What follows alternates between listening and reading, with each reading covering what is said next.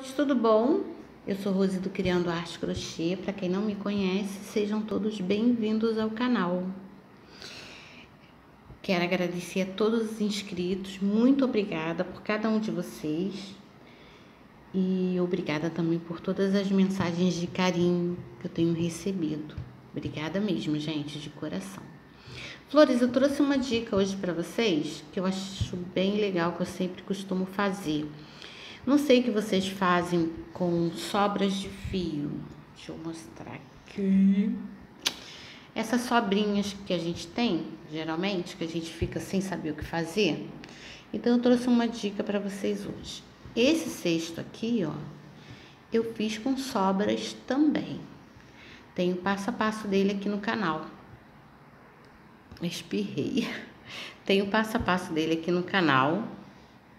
Vou deixar aqui em cima, ó, no link, só é clicar em cima, ou então vocês podem ir lá na, na página principal do canal em vídeos, que vocês vão ver o passo a passo dele. Tem ele, tem o maior também, só com sobras, tem tapete e tem outros, vários modelos de cesto, tá? Que vocês podem assistir. Então, esses cachepôs aqui são legais que a gente pode vender, sei lá, por 5, 10 reais, né? São sobras que a gente não usa para muita coisa. E eles ficam tão bonitinhos, gente. Eu acho que fica tão charmoso. E quem não gosta também de ganhar, né? Vocês também podem dar de presente, né? Esse aqui, o fio é mais grosso, ele ficou maior, tá vendo?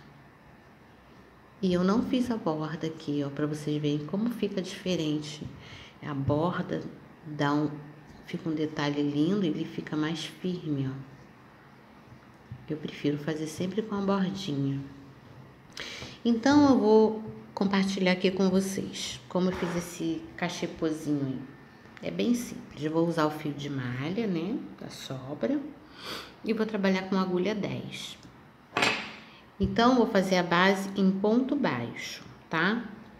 Vou iniciar com o círculo mágico.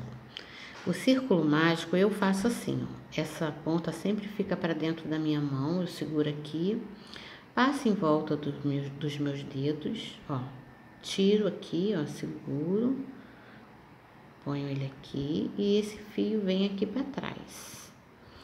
Aqui eu coloco a agulha, pego o ponto aqui, ó, o ponto, ó, o fio, ó, já vem aqui pra frente e já faço uma corrente, ó, segurando aqui embaixo para ele não correr. Fica assim, assim que eu faço o círculo mágico.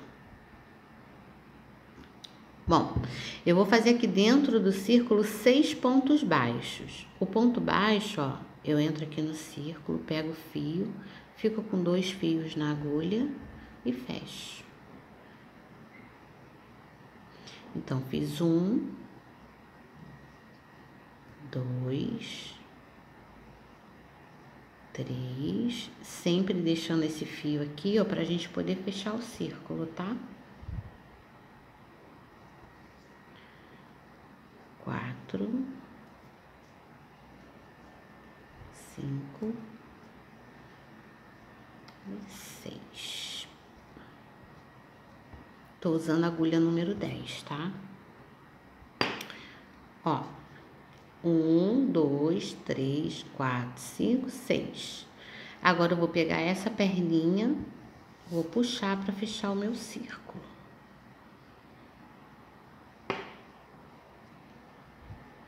Aqui é a corrente que nós subimos e aqui o primeiro ponto. Eu vou vir no primeiro ponto, Aqui em cima, pegando só a trancinha, ó. As duas perninhas aqui da trancinha. E vou fechar com baixíssimo. Baixíssimo eu puxo e fecho direto. Já faço uma corrente. Esse fio que sobrou, eu mantenho ele aqui porque eu vou arrematando ele, tá? Nós vamos trabalhar entre os pontos, tá? que a gente chama de casa de base. Aqui subia a correntinha, do lado da correntinha, do lado da correntinha, eu vou fazer um ponto baixo. Peraí que eu peguei dois fios aqui. Esse aqui tem que ficar em cima. Ó. Em cada casa de base eu vou fazer dois pontos juntos, que é o, é o nosso ponto duplo, tá?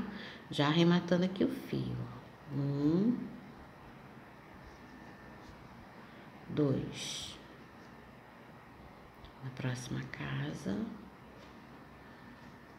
Um, dois. Já arrematando pra gente não precisar arrematar depois. Que depois dele pronto fica mais chatinho, né? Tá vendo? Eu tô entrando, ó, entre os pontos, ó. Aqui,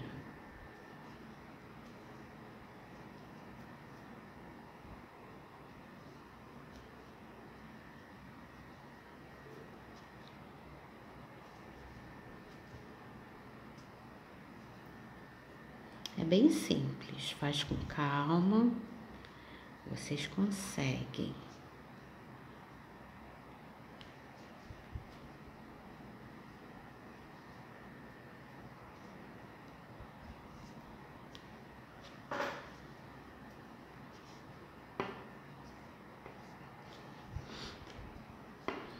Aqui é a corrente que nós fechamos, tá? O baixíssimo. Então, Aqui eu não vou fazer ponto, eu faço nos outros, mas aqui eu não vou fazer. Eu vou vir direto aqui, ó, no primeiro ponto aqui em cima. Vou fechar com baixíssimo e já faço uma corrente. Fizemos a nossa segunda carreira. Isso aqui depois eu corto. Do lado da minha corrente, eu faço um ponto baixo. Essa carreira nós vamos fazer um duplo e um ponto sozinho. Um sozinho. Ó, tá vendo? Eu tô pegando aqui em cima da trancinha, ó. Um, dois. Nossa, tá coisando, né? Tá desfocando. Um. Um sozinho. Um duplo. Um sozinho, um duplo. Toda essa carreira vai ser assim.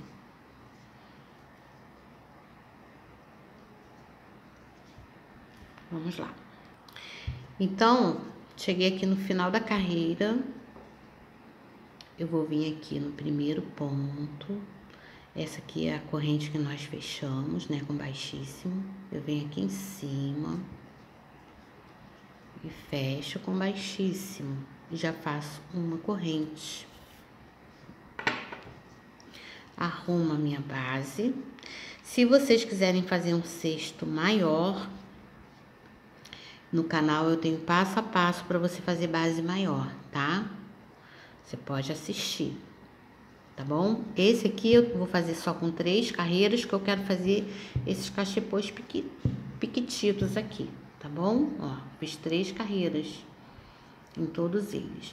Agora, a lateral do cesto eu vou fazer toda no ponto centrado, tá bom? Vamos lá então. Fiz aqui a corrente. Agora a gente vai começar a trabalhar a lateral do cesto. O que que a gente vai fazer? Nós vamos vir aqui em cima, ó, nessa trancinha a gente vai entrar na trancinha aqui, ó, e vai fazer o ponto baixo. Essa primeira carreira é toda no ponto baixo, tá? Não entro mais aqui, agora eu entro aqui. Vou fazer um ponto baixo em cada trancinha dessa, em cada casa de base. Sem crescimento, só um em cada um.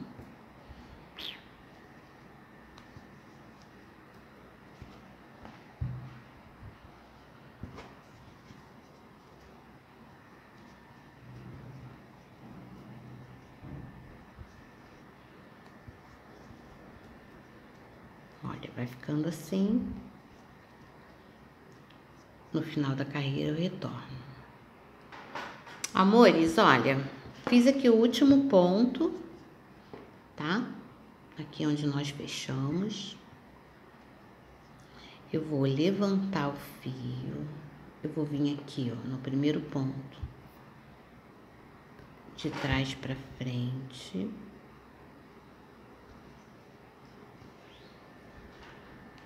Pego esse fio aqui, puxo para trás, levanto aqui para fechar, seguro. E aqui, ó, é o ponto que tá na direção do fio que tá vindo ali, ó, do rolo, tá bom? Como agora eu vou trabalhar ponto centrado, eu vou vir no meio do ponto, eu não venho mais entre os pontos, eu vou vir no meio deles, tá? Se você tiver dificuldade de entrar aqui nos pontos, nessa primeira carreira que é chatinha, com a agulha 10, você pode usar a agulha 6, não tem problema nenhum. A 6 facilita muito, tá? Então, ó, eu vou vir aqui. Esse aqui é o último ponto que nós fizemos, ele ficou emboladinho, ó, mas a gente encontra ele, ó, tá vendo? Eu vou vir aqui no meio dele. Ó, dá uma puxadinha aqui com o dedo que ajuda. Ó, entrei aqui no meio dele. Vou pegar esse fio. Vou puxar. Ui, veio. Vou puxar ele. E vou fechar. Fechei, fiz o primeiro ponto.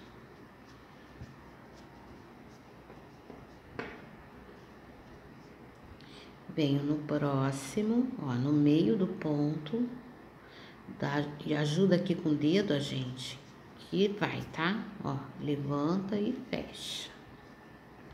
Eu sempre coloco esse dedo aqui, ó, atrás do ponto para poder, eu empurro a agulha aqui e dou, e ajudo aqui, ó. Só a primeira carreira que a gente faz isso, que é chatinha para pra gente fazer, iniciar o ponto centrado mas depois é tranquilo, tá? Puxa, dá uma levantadinha para ficar mais folgadinho e fecha. Ah, tá ficando torto. Calma que a gente arruma, vai ficar bem certinho, tá bom? Assiste com calma, pausa o vídeo, faz a carreira, depois bota ele para rodar de novo, aí você vai acompanhando direitinho.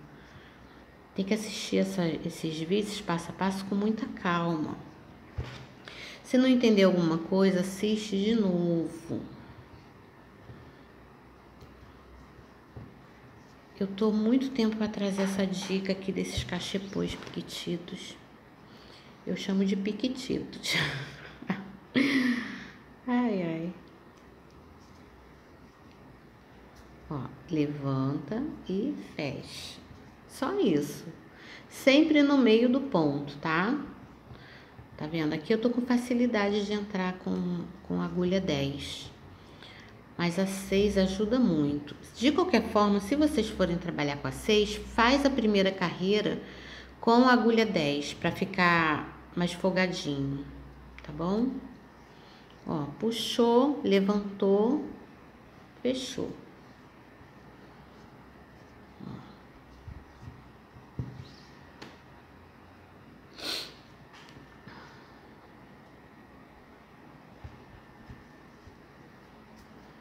Levanta e fecha.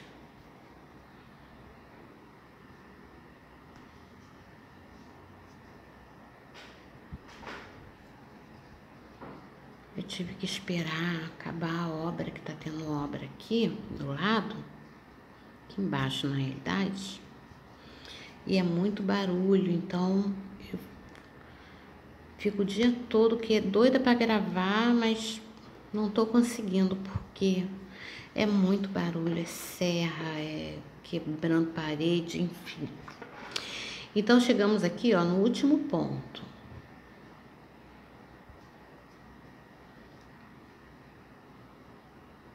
Puxei, fechei. Mais uma vez eu levanto aqui o fio, venho aqui no primeiro ponto, ó, de trás para frente.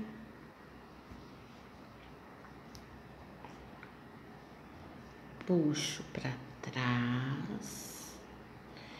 Aqui tá o fio, ó, que vem lá do rolo. Então, é nesse ponto aqui, ó.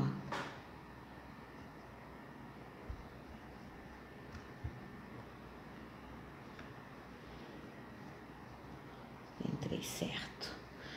Puxo ele e fecho. Ui. Deixa eu arrumar aqui. Dá uma esticada aqui. Às vezes, dependendo do fio, nem precisa fazer isso, tá, gente? Porque esse fio aqui, ele tem mais elastano. Então, ele é diferente desse. Ó, desse aqui. Esse aqui quase não tem elastano. São muito, né? Tem só um pouquinho. São os ideais, assim, pra gente fazer cesto. Mas como nós estamos trabalhando com sobras, a gente tem que aproveitar o fio que a gente tem. Então, não vamos, não vamos deixar de fazer, de produzir, fazer alguma coisa legal assim, por conta do fio, né? Esse fio aqui ele é muito bom para tapete, mas também é bom para cesto, assim. Só é um pouquinho mais chato para a gente trabalhar, mas a gente consegue, tá? Ó, tá vendo? Então, fiz o meu primeiro ponto. venho aqui no próximo e continuo na sequência, tá? Essa é a sequência, ó. Agora é mais fácil, tá vendo? Agora é só você ir fazendo os pontos centrados, ponto em cima de ponto, ó, levanta para ficar bem soltinho. E assim a gente vai fazendo o nosso cachepô. Vamos lá, no final da carreira eu retorno. Então, flores, olha, nós fizemos uma, duas, três carreiras, eu vou fazer mais uma, tá? Ó, levanto, a sequência é a mesma. Ó, vem aqui no primeiro ponto. Puxo. Venho aqui.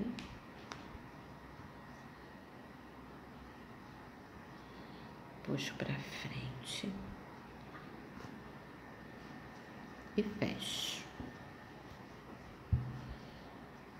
E continuo fazendo os pontos centrados.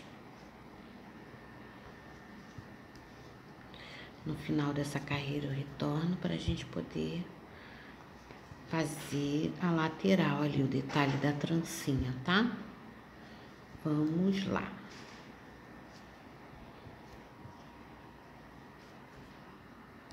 Então, flores, eu fiz aqui o último ponto, ó.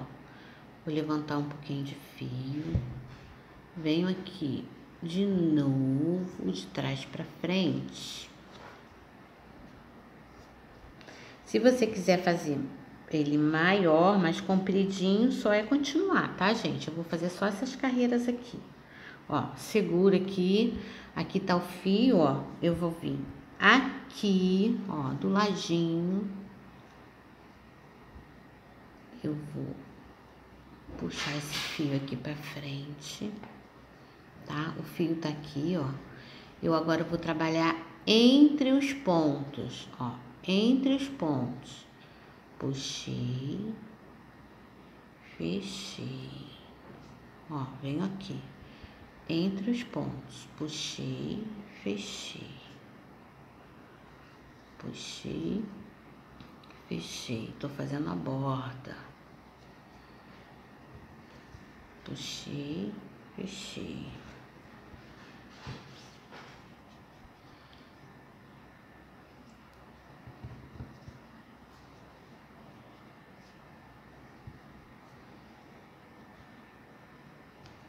Faz isso em toda a volta.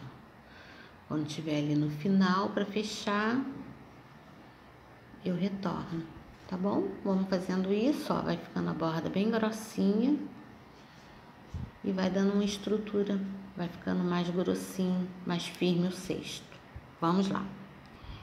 Então, flores, olha, eu fiz toda a borda, tá? Fiz aqui o último Ó, o último, o último é aqui na realidade, né? Gente, tô com o braço doendo, tomei a vacina ontem. Levanta aqui um pouquinho do fio. Eu vou mudar a agulha, tá? Ó, vou pegar a agulha 6. Venho aqui de trás pra frente, vou sair aqui nesse ponto, ó. Ó, sair no meio dele. Puxo aqui um pouco de fio. Então, ó, eu puxo esse fio para trás. Ui, ficou muito fio, eu vou puxar um pouco mais para cá.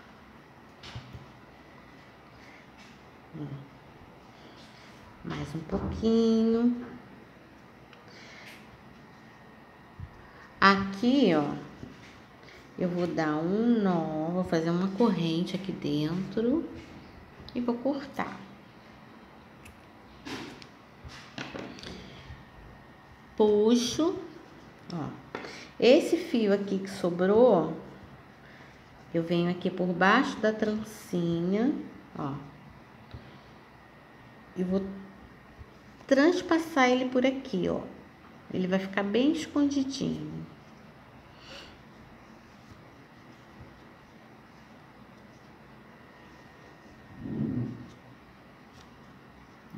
Bem escondidinho.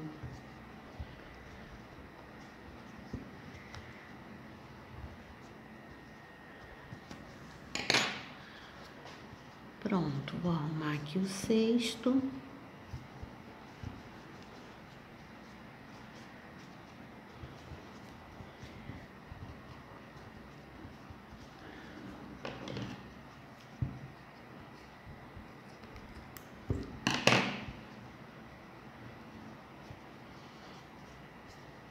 E assim ficou o nosso cachepô piquitito, ó.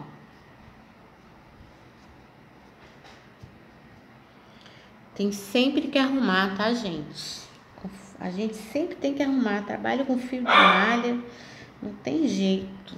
A gente tem que arrumar para ele poder se encontrar. Para ele encontrar o espacinho dele, o cantinho dele, tá? Essa parte aqui que eu não cortei, ó, ficou fio aqui. Deixa eu cortar. Ai. Cortei. Menino. Ó.